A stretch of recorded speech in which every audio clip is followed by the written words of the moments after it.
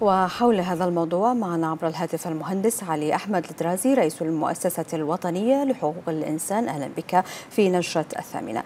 سيد علي ألا ترى بأن هذا القرار هو دليل على أن كرامة الإنسان واحترام كافة حقوقه في مملكة البحرين طبعا مكفولة في كل الظروف؟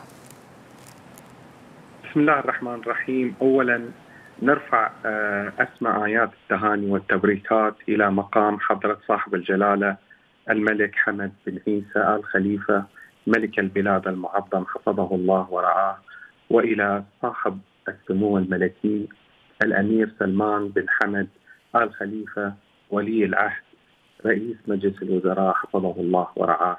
وإلى حكومة وشعب البحرين الوفي بمناسبة ذكرى تولي صاحب الجلالة الملك المعظم مقاليد الحكم وذكرى العيد الوطني المجيد.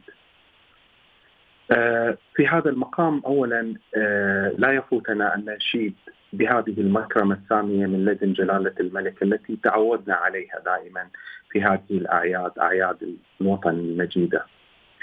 أيضا هناك التوسع في فلسفة العقوبة من العقوبة الجبرية إلى عقوبة الدمج في المجتمع والمحافظة على النسيج الاجتماعي وعلى تحويل النزيل إلى عنصر فاعل في المجتمع يفيد إسرته ومجتمعه ويكون سندا للوطن. آه طبعا آه التوسع عبر إدخال السجون آه المفتوحة كمرحلة تهيئة وتدريب وأيضا تثقيف للنزيل ليتمكن من أن يحصل على المرحلة الأخرى ألا وهي مرحلة جاهزيته للدخول في البرامج في برنامج العقوبات الجديدة. نعم. سعادة المهندس علي أحمد الدرازي رئيس المؤسسة الوطنية لحقوق الإنسان شكرا جزيلا لك.